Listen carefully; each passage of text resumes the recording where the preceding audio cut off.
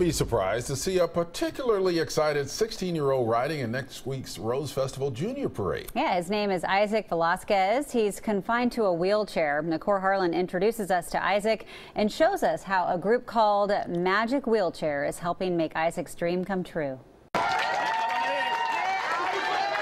For a few moments late this morning, Isaac Velazquez couldn't find words to describe the excitement of the newly made vehicle he'll be riding in for the junior parade next week.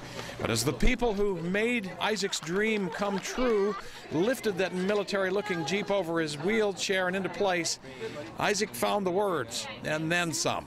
I will come outside to get on this vehicle just to make sure they follow me because I want to be the leader of the band. He loves attention. He loves to um, to just to talk to people. He loves to express himself, and this is just the perfect opportunity to do that. Isaac's mother, Heather, says the junior parade is an event her son will talk about for years.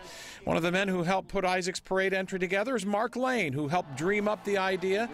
His daughter has cerebral palsy, and he wanted to give a special kid like Isaac a unique opportunity to take part and get involved in an event like a parade that he might not normally be able to take part in. These things like this allow these kids to, to be the center of attention for all these kids. I mean, you see all these kids just running around. They want to be a part of this. They want to connect to this, and that's what it's about. That's what Magic Wheelchair is about. That's what this build is about. That's what it's all about. It's a gesture of love for a 16-year-old Grant High School kid who hasn't had the easiest of paths in his lifetime.